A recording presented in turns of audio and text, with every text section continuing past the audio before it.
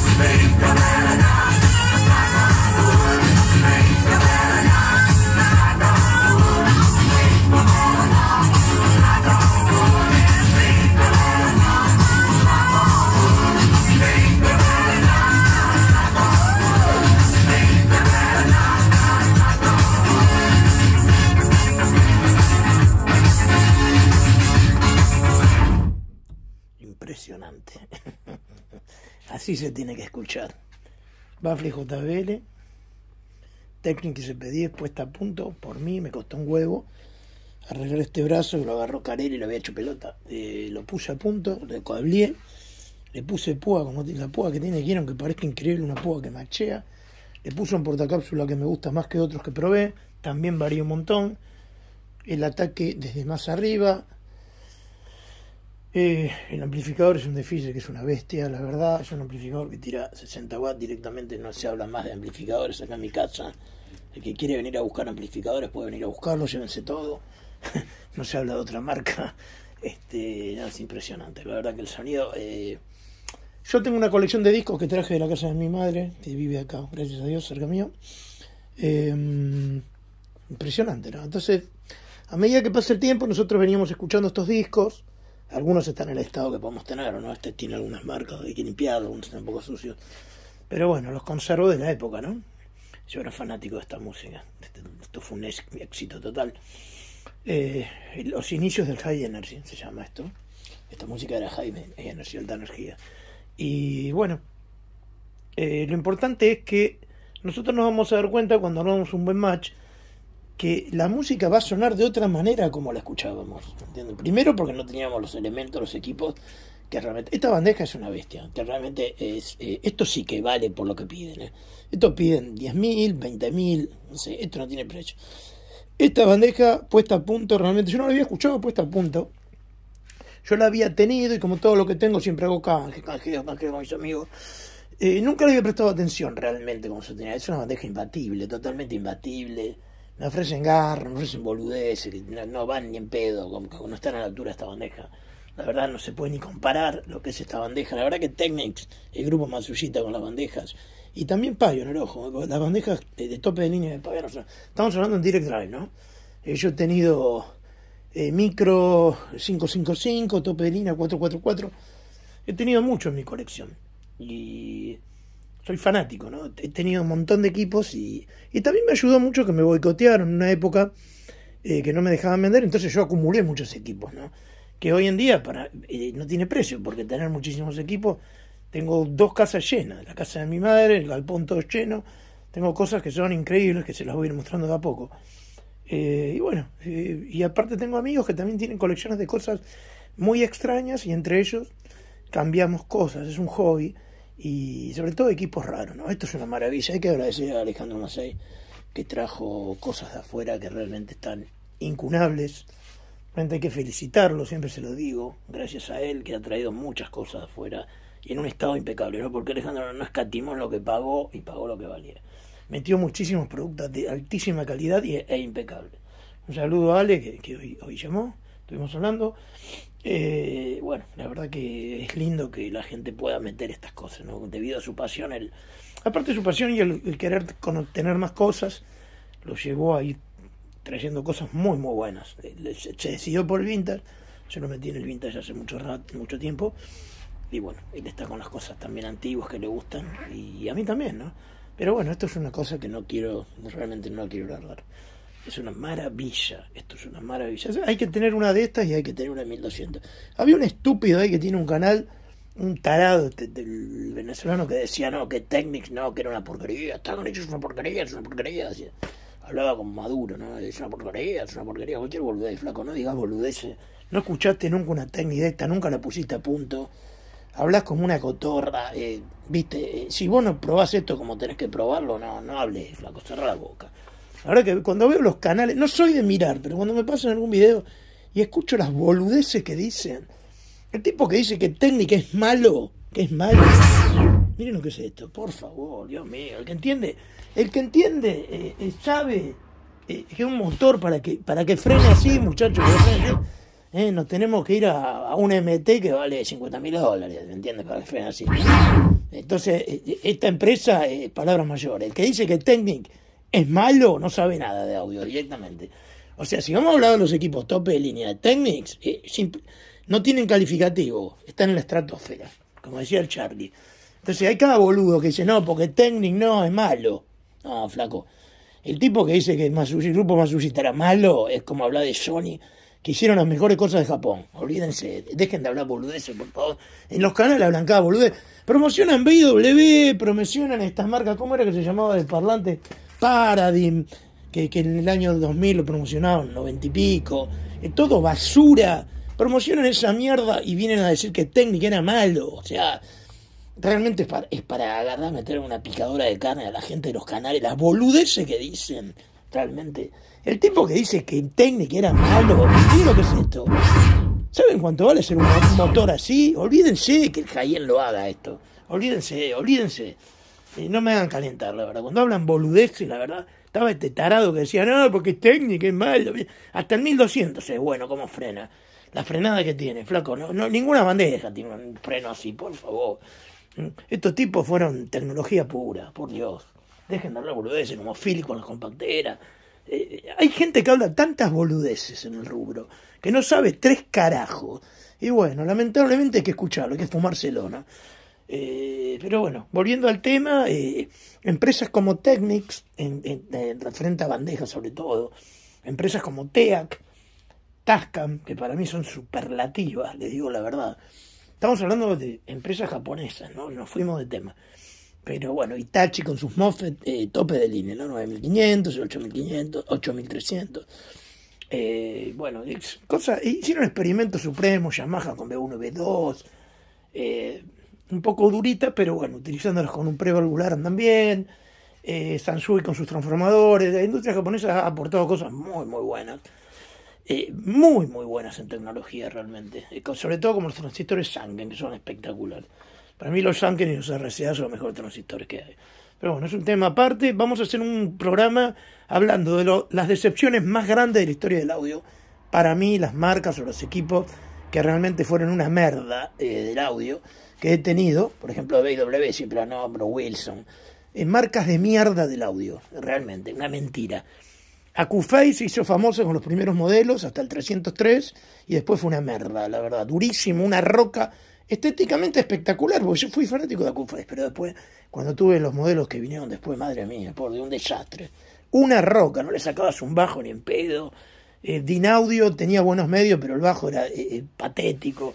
Bueno, ni hablar de las otras marcas, de estas este, eh, nuevas que hay, sin palabras, realmente sin palabras. Vamos a hablar las marcas de merda del audio, la, la mentira del audio, y vamos a hablar de las verdaderas cosas buenas que se hicieron en la historia del audio. Vamos a hablar de lo bueno que se hizo en la historia del audio, los mejores equipos que se hicieron en la historia, en la historia del audio. Por ejemplo, este es el preamplificador, el, el Gastaedra, el Power Amsila, ya se los dije, se los fui mostrando de a poco, de a poquito, ¿no? El, el Sansui BA5000, la, una de las mejores potencias que escuché, muy transparente, hay que poner un prevalvular, ¿no? Hay que saber machearla, ¿no? Si, si la vamos a poner con algo totalmente agresivo, JBL con el driver 375, son grandes inventos de la historia, ¿no? Eh, son indiscutibles, el driver Altec 288, eh, como hablábamos con Alejandro la otra vez, hay cosas que son indiscutibles, ¿no? Los, los, los Jensen, la serie 600, y no me hablen de, de BW, de la, del caracol y del, del Kevlar y la, la, puta que lo parió. Es toda una farsa total. Estrategias de venta, está muy bien, pero bueno, no existen esas marcas. Al lado las marcas de antes no existían. Vamos a hablar de las marcas de merda, las co cosas que fueron un espanto para mí, las compacteras. Por ejemplo, Pioneer es una pena porque Pioneer estéticamente, para mí es la marca más bella de la historia del audio, estéticamente. Pero era tan duro el sonido, tan malo ¿Me entiendes? No, el caso de los estéreos, por ejemplo. El caso de los estéreos no. Pero Pioneer he tenido la oportunidad de tener todos los modelos. El Spec 1, el Spec 2, todo. Eh, tuve también las potencias, las, la serie exclusiva. Eh, eh, tuve cosas. El, el, clase A me gustó bastante. Ese sí me gustó. Eh, tuve el modelo, el Series 20, después tuve el modelo 25, que me gustaron. Y bueno, me fui por la tangente, ¿no? Explicándoles, eh, vamos a hablar en un programa de todas las marcas que fueron un engaño, de cosas que fueron... Eh, por ejemplo, SA 9800, que todo el mundo se vuelve loco. La gente se vuelve loca por el 9800, yo le explico cómo me pasó a mí. Yo lo tuve, tuve como 4 o 5. Porque lo veíamos en la vidriera, y como éramos fanáticos de Pioneer por los estéreos, queríamos tener ese equipo, y con las luces azules, la tornería fantástica, lo queríamos tener. El sonido es un espanto. Si no pones el lunes, no, no tenés un bajo, pero ni por puta madre con el Pioneer SEA 9800. Es un hermoso el equipo. Pioneer que anda bien es el DSA 9100. Es un equipo que anda bien. Uno de los pocos que andan bien. Algunos de los chiquitos. Y los de Germanio hay muchos que eran muy buenos también. De Pioneer. Después les voy a hacer una prueba con el mejor Germanio de Pioneer. Eh, bueno, eh, son aportes que quiero dar al audio y re, referente también a las marcas, nombré a Marantz con cuatro o cinco modelos, nada más. Uno, por ejemplo, de las grandes farsas del audio es el Maras Model 8 y los Model 9. Un horror, un horror. no pueden valer nunca lo que valen.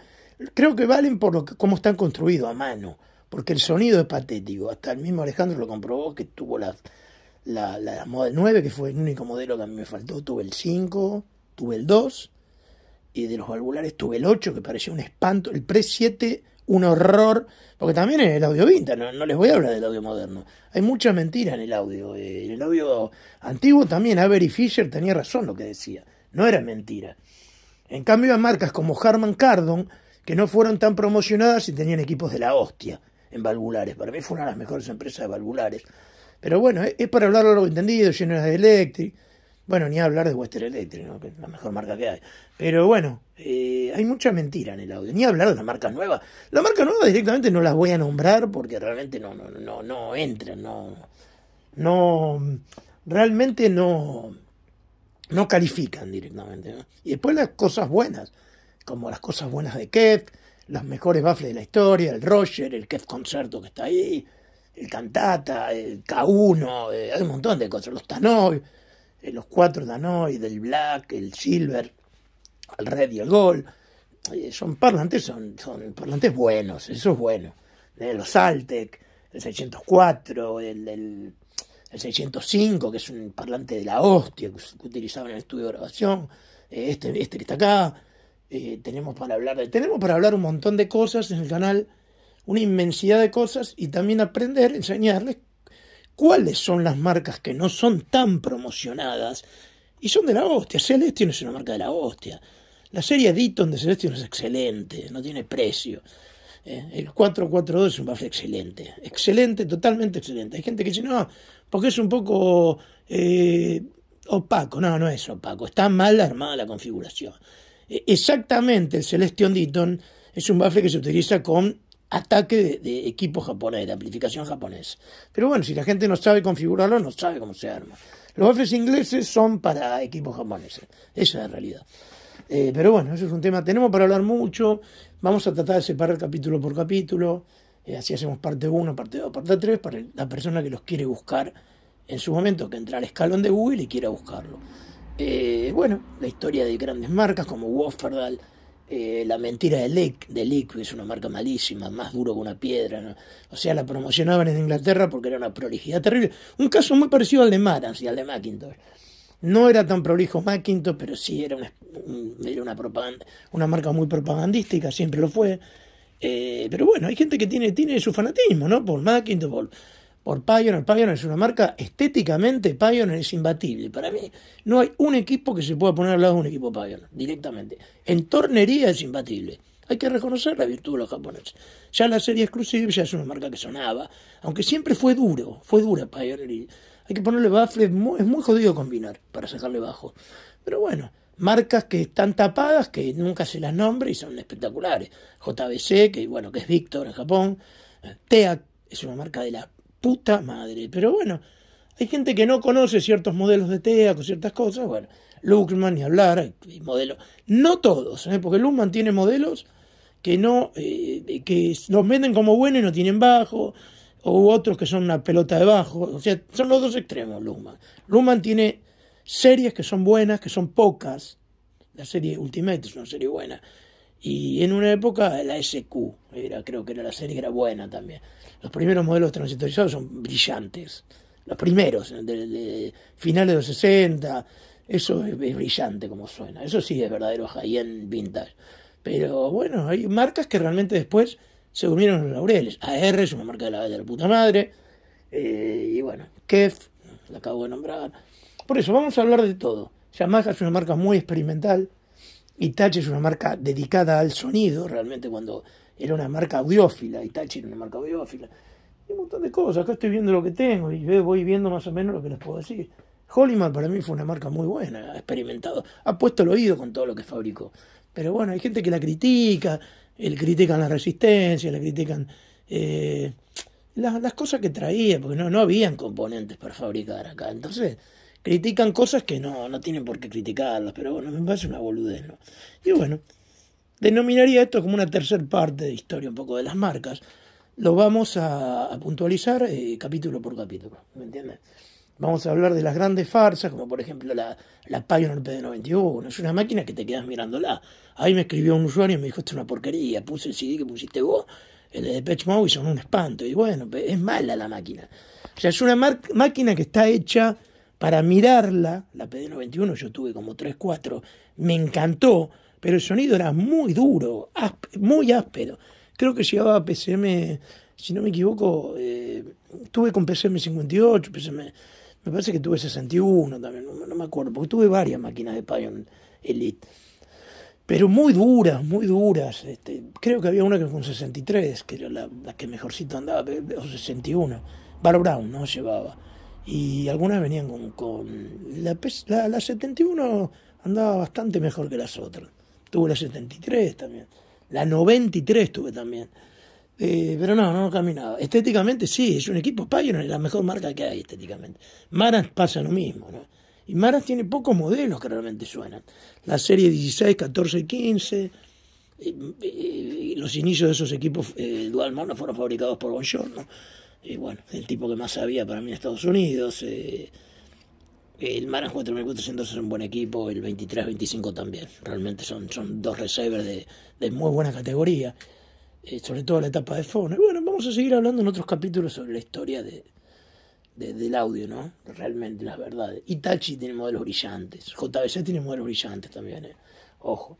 Eh, pero bueno, Kengu también, Akai también tiene buenos equipos. Son pocos, son contados con los dedos, la mitad de la mano, tres dedos. Akai tiene tres modelos que son supremos, tres modelos. Se los voy a contar. El 85, el 7000 y el 5000. Esos tres modelos son espectaculares de acá. Son antiguos, ¿eh? pero bueno, si les cuento la verdad, no les voy a mentir. Esos modelos son brillantes. Eh, tienen pre en, su, en la parte del pre tiene germanio. Eh, y bueno, la verdad que bueno, hay, hay, equipos que eran buenísimos. Philips es una marca buenísima. Vamos a hablar de verdades y mentiras del audio, un montón. y bueno, después los DEC, también nos vamos a dedicar un día a hablar sobre los DEC también. bueno, esto se va a tratar de charlas sobre audio y sobre todos los equipos, ¿no? Eh, las marcas que fueron una mentira. Eh, bueno, en el 90, cuando empezó el Home Theater, nos vendieron una mentira gigantesca. Pero bueno, vamos a empezar a hablar de todo, ¿no? De todo, un poquito de todo. Les mando un abrazo gigante y bueno, ahora sí, hasta mañana.